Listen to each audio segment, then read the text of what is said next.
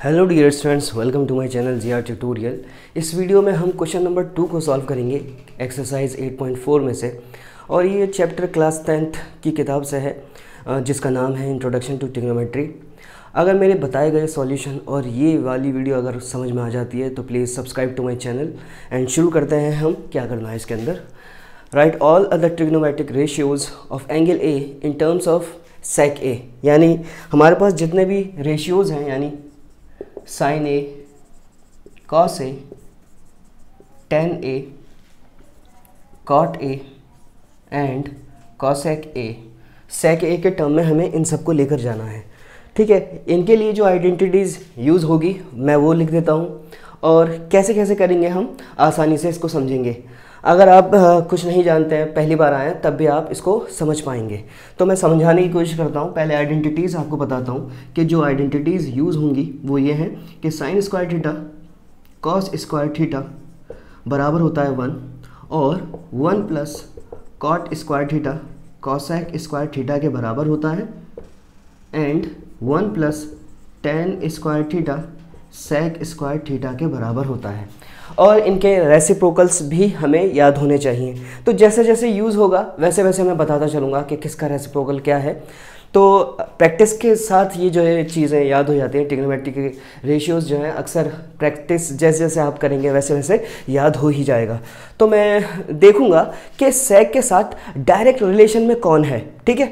तो अगर मैं देखूँ कि आपको ये याद होना चाहिए कि पंडित बद्री प्रसाद जो हो है पंडित बद्री प्रसाद हर हर बोले।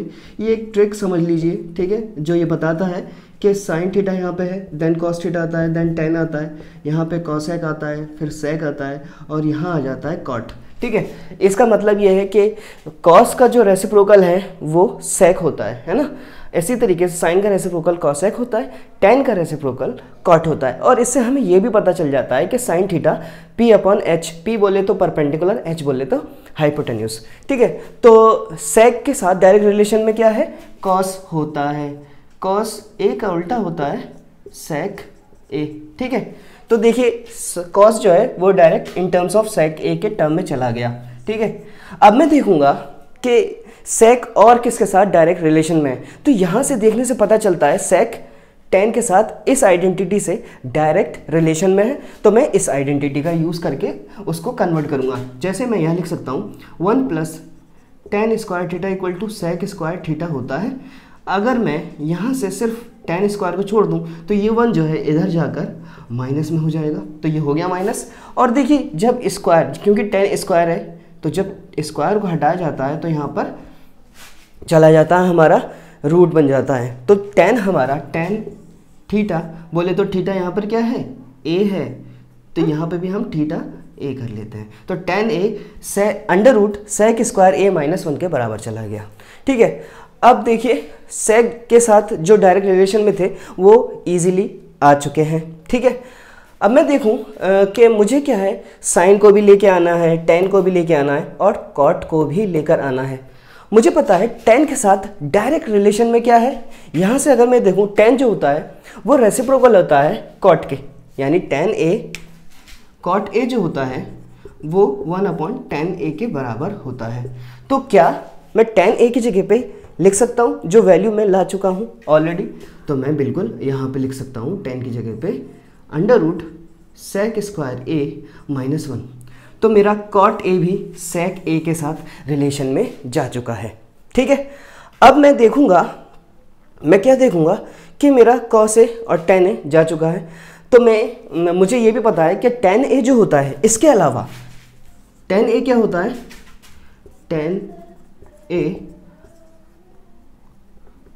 sine A upon cos A के बराबर भी होता है। होता है कि नहीं होता है? तो मैं यहाँ से साइन की वैल्यू ला सकता हूँ। ठीक है, कैसे ला सकता हूँ? ये जो साइन के साथ कॉस है, ये डिवाइड में है। जब ये टेन के साथ जाएगा तो ये मल्टीप्लाई हो जाएगा इधर आकर। और यहाँ पर साइन हमारा बचेगा। मुझे टेन ए भी पता है कॉस ए भी पता है तो मैं इजीली यहाँ पर पुट करके ला सकता हूँ वैल्यू तो कैसे लाऊँगा? वो मैं बता देता हूँ।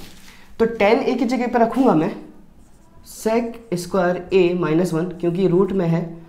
और कॉस की वैल्यू जो है वन अपॉन सेक है तो कॉस की जगह पे वन अपॉन सेक लिख दूँगा इक्वल टू साइन ए ठीक है?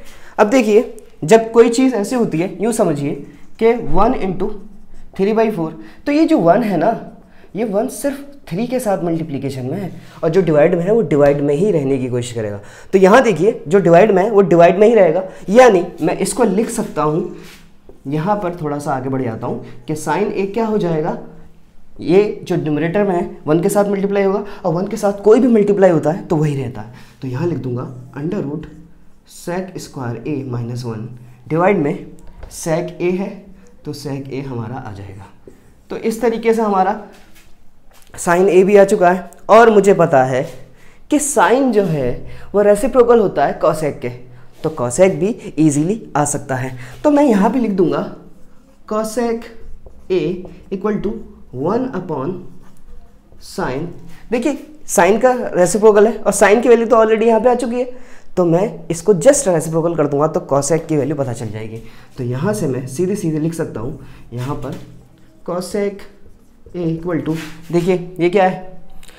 Root sec square A minus one divide by sec A तो इसका रेसिप्रोकल करूँगा क्योंकि कॉस ए जो होता है साइन का रेसिप्रोकल होता है। तो मैं, जो न्यूमरेटर में है वो डिनोमिनेटर में जाएगा और डिनोमिनेटर वाला न्यूमरेटर में चला जाएगा। और इस तरीके से मेरी कॉस ए की वैल्यू जो है आसानी से आ चुकी है। ठीक है? तो ये तरीके होते हैं हमारे पास। किस तरह से हम, किस आइडेंटिटी का इस्तेमाल से कहाँ कहाँ जा सकते हैं और क्या हम सोच सकते हैं कौन सा फार्मूला हमारे लिए इजी होगा, कैसे जाना इजी होगा तो ये डिपेंड करता है हमारी प्रैक्टिस पे। तो प्रैक्टिस करते रहिए और बने रहिए मेरे वीडियो के साथ। मुझे लगता है कि आपको वीडियो ये समझ में आई होगी। नहीं आई होगी तो मैं बस यही कहना चाहूँगा कि कमेंट करके ज़रूर बताएँ कि कहाँ पर आपको परेशानी है। Thanks for watching my videos